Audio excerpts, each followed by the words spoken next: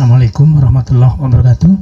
Sholat tarwih atau sholat lail kalau bulan Ramadan. Setelah sholat tarwih itu kan ada sholat witir. Mohon pencerahannya.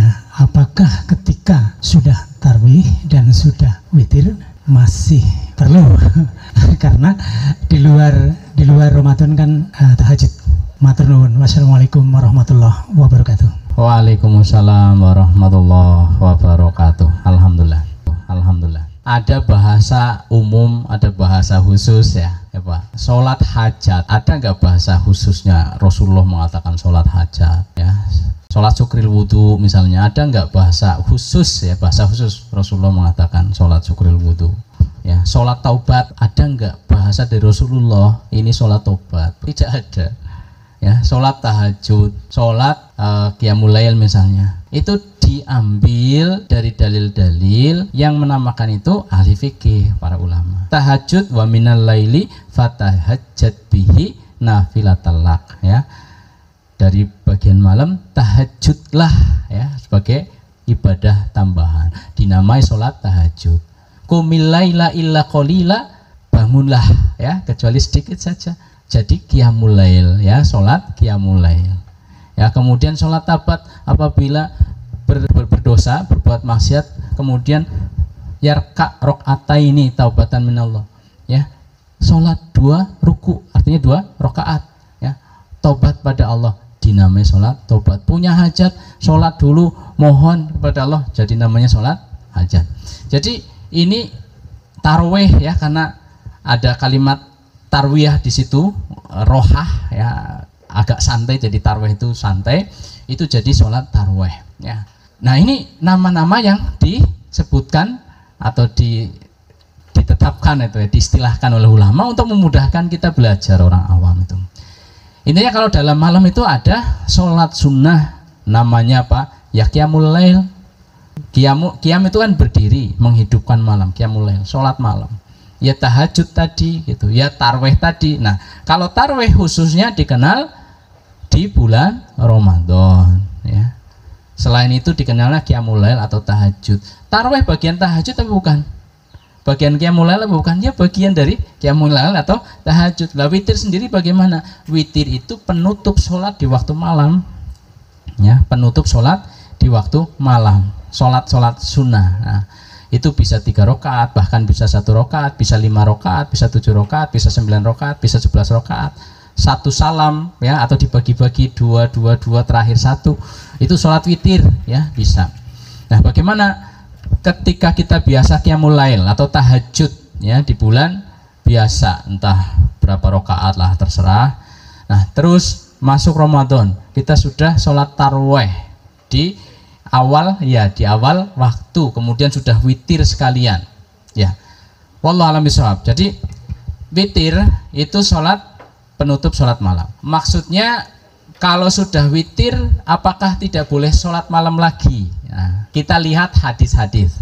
Ini ini saya bahas witir dulu. Apakah kalau sudah sholat witir tidak boleh sholat lagi di waktu malam?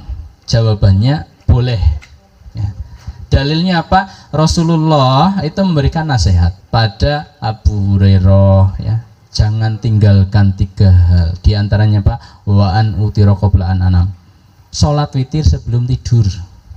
Nah jadi rangkaian sholat ini ditutup di waktu malam dengan witir. Kita seharian sholat di waktu malam setelah isya makanya waktu setelah isya. Ya. tapi boleh di awal malam setelah isya itu sebelum tidur boleh dilakukan. Itu waktu witir sudah. Yang penting jangan witir sebelum isya gitu ya. Jadi itu. Setelah isya persis boleh. Tapi sebaiknya kalau mau sore sebelum tidur. Jadi pulang isya kan mungkin masih ada macam-macam. Mau tidur sholat dulu sholat witir. Ini nasihat Rasulullah wasiat Rasulullah. Waan utiro qoblaan anam. Ya. Abu uh, Abu Bakar itu biasa witir sebelum tidur kira-kira orang seperti Abu Hurairah, Abu Bakar itu malam-malam sholat apa tidak? Mau sholat, jelas sholat. Ya, riwayat itu banyak. Ya. Tapi beliau sudah witir sebelum tidur. Berarti setelah witir boleh sholat malam apa tidak? Boleh. Yang tidak boleh apa? Yang tidak boleh mengulang. Nah itu sudah sholat witir, sholat witir lagi itu yang tidak boleh. Ya Ya jadi kalau sudah sholat witir, kapan misalnya, ya udah nggak usah witir lagi. Nambah sholat boleh apa tidak? Boleh itu. Nah sehingga kalau bulan Ramadan, kenapa kita sholat tarawehnya ke masjid berjamaah? Saya menghimbau itu, ya. Kon sholat sunnah baiknya di rumah masing-masing begitu. Kenapa? Eh, saya termasuk menghimbau sholat ke masjid berjamaah. Kenapa? Man sholat ma'imamihi hatta yansorifa kutiba lahu qiyamulailah. Siapa yang sholat dalam hari ini ada sholat tarweh ya, bersama mak, makmum bersama imam ya. Sholatnya makmum bersama imam. Sampai selesai sampai selesai berarti sampai kalau imam witir ya ikuti ya. Kutiba lahu qiyamulailah maka dia dicatat seperti sholat sunnah sepanjang malam. Nah tuh makanya itu keutamaan sholat bersama imam sholat tarawih berjamaah.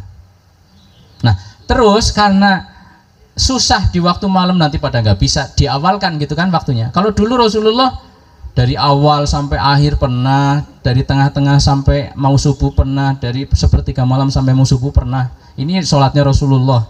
Ya kita kan lemah ya diawalkan biar rame-rame masih bisa. Nah sudah gitu di bulan biasa kan kita bisa tahajud di bulan biasa kita biasa sepertiga malam bangun. Jam 3 jam 2 setengah dua sudah bangun. Ya sholat. Masa ini Ramadan menang-menang baik? Ya ini Ramadan ya mentang-mentang sudah taraweh gitu. Bangunnya cuma untuk sahur. Lah sayang sekali. Padahal kita disuruh menghidupkan malam. Malam biasa saja dihidupkan apalagi malam Ramadan ya apalagi nanti di 10 hari terakhir. Jadi silahkan bangun apa yang dilakukan? Silahkan mau baca Quran boleh. Mau Qiyamul Lail tadi boleh mau tahajud. Nggak usah terikat dengan nama tahajud atau Qiyamul Lail yang penting sholat. Ya. Ya niatnya sholat. Sholat mutak bisa ya. Kalau mau nama tahajud juga boleh silahkan. Ya mau usoli Qiyamul Lail misalnya ya. Saya niat Qiyamul Lail boleh usoli tahajud boleh ya. Niatkan dengan tahajud boleh. Niatkan dengan sholat al mutlak boleh gitu. semuanya adalah sholat di waktu malam tersebut. Yang jelas uh, waktu itu adalah waktu dibolehkan untuk beribadah. Bahkan bukan dibolehkan lagi dianjurkan apalagi bulan puasa. Jadi yang sudah tarweh kalau bersama imam ikuti saja ya sampai selesai sampai witir. Nah nanti nambah silahkan berapapun rokaatnya. Yang penting tidak witir lagi. Karena la witroni filailah tidak ada sholat witir dua kali dalam satu malam ya wallahu alam bisa ya nje nje nje monggo.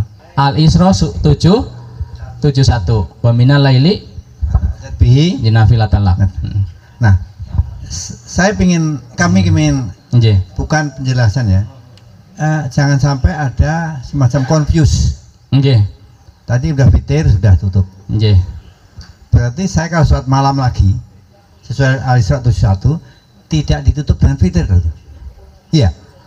Ya istilah witir penutup sholat malam misalnya. Ya. berarti maksudnya bukan penutup sholat malam artinya setelah witir kemudian tidak boleh eh, tidak boleh sholat lagi ya satu ya. Kemudian setiap setelah sholat malam harus diakhiri dengan witir. Tidak seperti itu tidak setiap sholat malam diakhiri dengan witir pertama. Kemudian tidak em, artinya masih boleh setelah witir sholat lagi itu yang menjadi hukum. Kenapa? Itu yang terjadi ya yang terjadi di para sahabat. Ya, artinya mereka sudah witir kok sholat lagi? Itu ya. dan tidak witir lagi. Berarti kan bisa setelah witir. Lah penutup itu penutup rangkaian sholat. Ya penutup rangkaian sholat yang dikerjakan di waktu malam. Nah, itu. Jadi sehari itu kita ada sholat lima waktu ya dari subuh tuhur asar maghrib isya. Nah itu penutupnya witir dilakukan setelah sholat malam sehingga witir ini dihukumi oleh Imam Abu Hanifah wajib. Mirip seperti sholat lima waktu mirip ya. Wajib wajib kan artinya kalau ditinggalkan berdosa ya. Loh kalau witir wajib lah sholat lima waktu apa? Sholat lima waktu itu hukumnya fardu ya. Fardu itu di atasnya wajib. Itu menurut pendapatnya Imam Abu Hanifah Hanafi menganggap bahwa sholat witir adalah sholat wajib. Kapan dilakukan? Setelah isya. Sampai kapan? Sebelum sebelum fajar. Itu waktunya. Jadi waktu sholat witir itu setelah isya sampai sebelum fajar. Nah itu sebagai penutup rangkaian sholat ya. Ibaratnya seperti itu. Wallahu alam bisawab intinya uh, bukan berarti penutup kalau sudah melakukan sholat witir tidak boleh sholat lagi nyatanya para sahabat ya seperti Abu Bakar Abu Hurairah tadi justru diwasiati oleh Rasulullah sholat witirnya diawalkan kenapa ini penting sekali jangan sampai ketinggalan Nah, kalau tidur dulu kadang kebablasan. Umar tidak mau, ya. Umar saya akan sholat di akhir, menutup benar-benar, menutup rangkaian itu. Ini Umar. Kenapa? Umar punya azimah kuat, sangat kuat.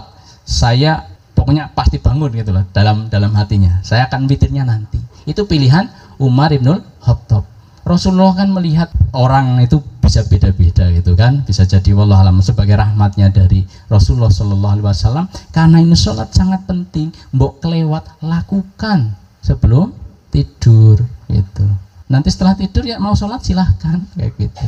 Wallah alam Wassalamualaikum warahmatullahi wabarakatuh